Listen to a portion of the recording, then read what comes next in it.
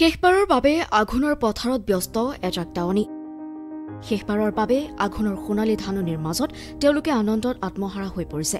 গাঁওখনৰ দাৱনীসকল লগ হৈ আঘোণৰ পথাৰত খাইছে ৰবাব টেঙা আৰু লগে ভাগে চপাইছে সোণগুটি। কাৰণ এইবাৰ শেষবাৰৰ বাবে খেতিত ব্যস্ত হৈছে এই গাঁওখনৰ লোকসকল। আহিবলগীয়া সময়ত তেওঁলোকে আৰু খেতি নকৰে। বুকুত যেন শিল বান্ধি তেওঁলোকে লৈছে এই সিদ্ধান্ত। বন্যহস্তীৰ উপদ্ৰৱৰ বাবে ভৱিষ্যতে ধান খেতি নকৰাৰ সিদ্ধান্ত লৈছে গাঁওবাসীয়ে। আঘোণৰ সোণালী পথাৰত দাৱনীৰ ব্যস্ততা যেন চহা অসমীয়া গাঁৱলীয়া সমাজ জীৱনৰ এখন চিনাকি ছবি।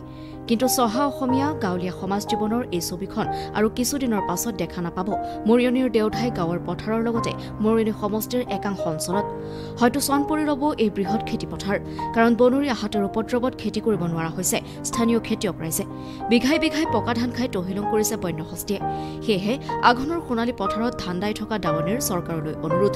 মৰিয়নিৰ গিবন অভয়াৰণ্যৰ পৰা খাদ্যৰ সন্ধানত ওলাই আহি ধাননি পথাৰত ধান খাই তহিলং কৰা বনৰীয়া হাতীৰ জাকটোক যিকোনো প্ৰকাৰে নিয়ন্ত্ৰণ কৰক। অন্যথা আগন্তুক সময়ত খেতি কৰাৰ পৰা বঞ্চিত হ'ব স্থানীয় ৰাইজ। প্ৰথমে চৰকাৰলৈ এটাই অনুৰোধ। আমি আচলতে চহা জীৱনৰ যি সকলোতো আমাৰ গ্ৰাম্য অঞ্চল। গ্ৰাম্য অঞ্চলত আমি সকলোৱে খেতিক লৈ ব্যস্ত। কিন্তু এই খেতিয়ে যদি আমি কৰিবলৈ নাপাওঁ যথেষ্ট আমাৰ কৃষকসকলৰ অসুবিধা হ'ব। আৰু গিবনৰ পৰা যিখিনি বনৰীয়া হাতী ওলাই আহে আগতে খুব কম আহিছিলে এতিয়া কিন্তু হাতী এশটা এশ কেতিয়াবা আশীটা নব্বৈটা তেনেকৈ হাতী ওলাই আহে।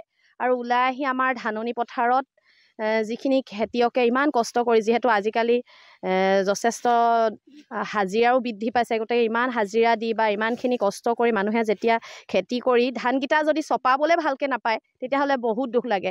কাৰণ বহুতো কৃষকৰ এই ধানকেইটাই মূল মানে সাৰথি এই ধানকেইটা বিক্ৰী কৰিয়ে তেওঁলোকে ল'ৰা ছোৱালী স্কুলত পঢ়ায় বা কিবা যাতায়াতৰ খৰচ বা ঘৰৰ তেল নিমখ আলু দাইল সকলোখিনি তেওঁলোকৰ খেতিৰ ওপৰতে নিৰ্ভৰ কৰে। গতিকে ইমান কষ্টকৈ খেতি কৰি খেতিৰ পৰা যদি কিবা এটা উপকাৰ নাপায় গতিকে মানুহবিলাকৰতো বহুতো অসুবিধা সৃষ্টি হ'ব। আৰু মই ভাবোঁ চৰকাৰে এই কথাটো খুব গুৰুত্ব দিব লাগে যিহেতু আমাৰ মৰিয়নি সমষ্টিৰ এটা বহুত ডাঙৰ মানে সমস্যা হৈ পৰিছে। মানে এনেকুৱা এটা সমস্যা যি সমস্যা সমাধানৰ মানে আমি এতিয়ালৈকে কোনো স্থল দেখা নাই।